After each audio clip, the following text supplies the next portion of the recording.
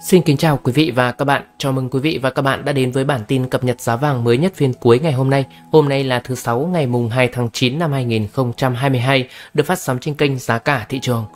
Trong bản tin này, chúng tôi xin gửi tới quý vị và các bạn chi tiết một số thông tin trên hai thị trường vàng thế giới và vàng trong nước. Phần tiếp đến của bản tin sẽ là bảng giá vàng trong nước được chúng tôi ghi nhận mới nhất trong phiên giao dịch buổi tối hôm nay. Sau đây sẽ là những nội dung chi tiết. Mở đầu của bản tin sẽ là một số thông tin trên thị trường vàng thế giới. Giá vàng trên thị trường thế giới thời điểm này hồi phục khá tốt trở lại, tăng tới 9 đô la Mỹ trên một ao và với tỷ lệ tăng là 0,53%. Hiện tại đang giao dịch quanh ngưỡng 1.705 cho đến 1.706 đô la Mỹ trên một ao.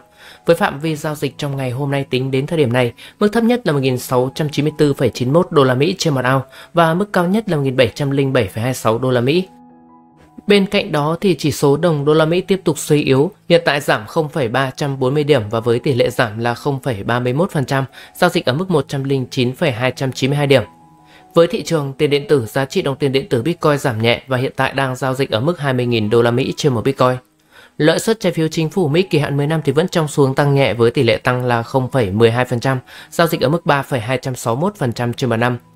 Còn đối với thị trường năng lượng thì giá dầu thô trong xu hướng tăng với tỷ lệ tăng là 2,36%, giao dịch ở mức 88,379 đô la Mỹ trên một thùng. Trước khi đến với những thông tin chi tiết trên thị trường vàng trong nước thì sau đây kính mời quý vị và các bạn hãy cùng điểm qua một chút những thông tin cũng như là phân tích trên thị trường vàng thế giới. Vàng là kênh đầu tư an toàn hàng đầu, thường được các nhà đầu tư ưa chuộng mỗi khi mà lạm phát tăng cao và tăng trưởng kinh tế suy giảm như hiện nay. Tuy nhiên thì môi trường lãi suất cao cũng thường gây áp lực giảm giá lên vàng vì vàng là tài sản không mang lại lãi suất. Hiện tại thì triển vọng lãi suất tăng cao hơn đang là nhân tố có ảnh hưởng nhiều hơn đối với giá vàng. Nếu cục dự trữ liên bang Mỹ Fed giữ vững lập trường chống lạm phát và tiếp tục tăng lãi suất lên cao, đồng thời tránh việc cắt giảm lãi suất ngay cả khi mà xảy ra suy thoái kinh tế, đó sẽ là một điểm xấu đối với vàng. Theo chiến lược gia Daniel Gary của TD Security phát biểu, nếu giá vàng giảm dưới 1.675 đô la Mỹ trên một ao, chúng tôi cho rằng áp lực bán tháo mới sẽ xuất hiện. Bên cạnh đó thì việc quỹ giao dịch hoán đổi ETF vàng lớn nhất thế giới SPDA Gold liên tục bán dòng phản ánh tâm lý bi quan của nhà đầu tư về triển vọng giá vàng. Sau khi bán dòng tổng cộng 10 tấn vàng trong 3 phiên đầu tuần này thì quỹ tiếp tục bán dòng thêm khoảng 0,3 tấn vào phiên giao dịch ngày thứ năm, có nghĩa là ngày hôm qua. Hiện tại thì SPDA Gold đang nắm giữ gần 973,1 tấn vàng, mức thấp nhất kể từ tháng 1 theo dữ liệu mà Reuters đưa ra, các nhà giao dịch ở Phú Quân đang đặt cược khả năng 73,1% Fed sẽ nâng lãi suất 0,75 điểm phần trăm trong cuộc họp tháng 9 và lãi suất đặt đỉnh ở mức khoảng 3,993% vào tháng 3 năm 2023. Phần tiếp đến của bản tin sẽ là một số thông tin trên thị trường vàng trong nước. Vào thời điểm trưa ngày hôm nay thì giá vàng miếng SJC tại công ty vàng bạc đá quý Sài Gòn niêm yết tại khu vực thành phố Hồ Chí Minh mua vào ở mức 65,85 triệu đồng trên một lượng và bán ra ở mức 66,65 triệu đồng trên lượng, đi ngang so với ngày hôm qua. Tại hai thị trường là Hà Nội và Đà Nẵng có cùng mức giá tại chiều mua vào nhưng chiều bán ra đắt hơn 20.000 đồng trên một lượng. Còn với hệ thống phú quý niêm yết giá vàng miếng SJC cho thị trường Hà Nội ở mức 65,6 triệu đồng trên lượng theo chiều mua vào và 66,5 triệu đồng trên lượng theo chiều bán ra. So với thời điểm ngày hôm qua thì giá vàng miếng SJC tại doanh nghiệp này không có sự thay đổi nào. Với nhẫn tròn trơn 4 số 9 hiệu phú quý có giá là 50,95 triệu đồng trên lượng theo chiều mua vào và 51,7 triệu đồng trên lượng theo chiều bán ra cũng không có thay đổi so với phiên hôm qua. Với mức giá ở thời điểm này thì giá vàng trên thị trường thế giới rơi vào khoảng 48,6 triệu đồng trên lượng. So với giá vàng thế giới quy đổi thì giá vàng miếng SJC hiện tại đang cao hơn giá vàng thế giới rơi vào khoảng 18,2 cho đến 18,3 triệu đồng trên một lượng để quý vị và các bạn có thể biết rõ hơn về thị trường vàng trong nước hiện tại, sau đây chúng tôi xin gửi tới quý vị và các bạn bảng giá vàng chi tiết được ghi nhận mới nhất trong phiên giao dịch buổi tối hôm nay. Kính mời quý vị và các bạn hãy cùng theo dõi và tham khảo thêm nhé. Trong phiên ngày hôm nay thì giá vàng SJC trong nước đa số các hệ thống kinh doanh nghỉ lễ ngày mùng 2 tháng 9. Do đó mà đến thời điểm này chỉ có một vài hệ thống kinh doanh là điều chỉnh tăng giảm đan xen trong biên độ hẹp. Hiện tại thì đang được niêm yết như sau.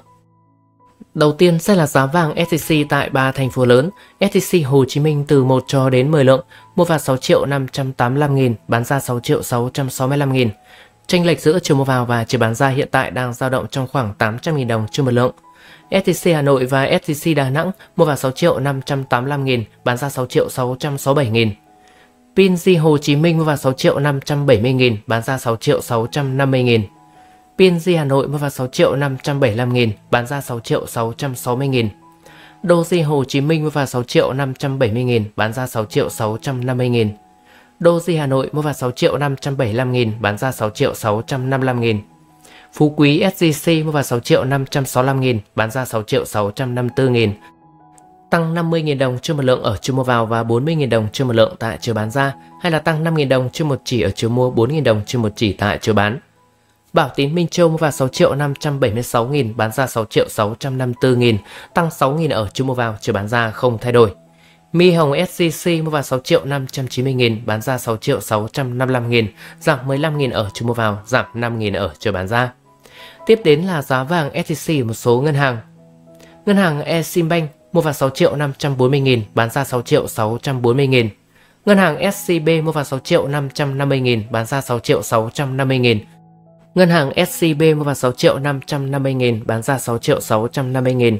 Ngân hàng Tây Banh Gold vào 6 triệu 575 nghìn, bán ra 6 triệu 655 nghìn. Ngân hàng Việt Tiên Banh mua vào 6 triệu 585 nghìn, bán ra 6 triệu 667 nghìn. Tiếp theo sẽ là giá vàng SJC một số tỉnh thành phố khác. Thời điểm này thì cũng không có điều chỉnh về giá. Chênh lệch giữa chiều mua vào và chiều bán ra hiện tại vẫn đang dao động trong khoảng 800.000 cho đến 820.000 đồng trên một lượng. Thời điểm này thì đang được niêm yết như sau.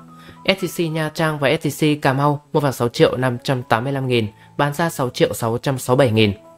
SJC Huế mua vào 6 triệu 582 nghìn, bán ra 6 triệu 668 nghìn.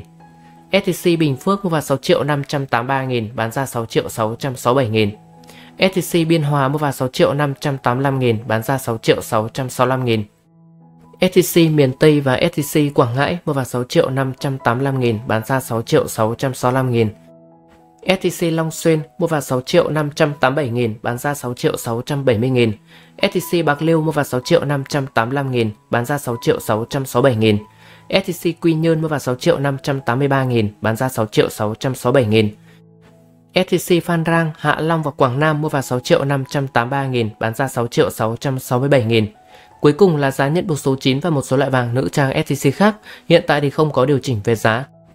Thời điểm này thì đang được niêm yết như sau, nhận buộc số 9 từ 1 cho đến 5 chỉ, mua vào 5 triệu 100 nghìn, bán ra 5 triệu 190 nghìn. Vàng 4 số 9 mua vào 5 triệu 090 nghìn, bán ra 5 triệu 150 nghìn. Vàng 24K mua vào 4 triệu 969 nghìn, bán ra 5 triệu 099 nghìn.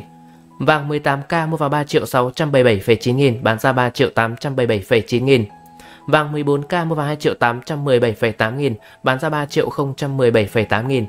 Vàng 10K mua vào 1 triệu 962,8 nghìn, bán ra 2 triệu 162,8 nghìn. Quý vị và các bạn thân mến, với những nội dung trên đã khép lại bản tin giá vàng mới nhất phiên cuối ngày hôm nay của chúng tôi.